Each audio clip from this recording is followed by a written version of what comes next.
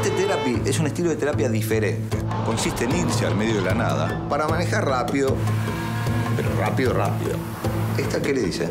Un auto coleando, levantando una nube de polvo.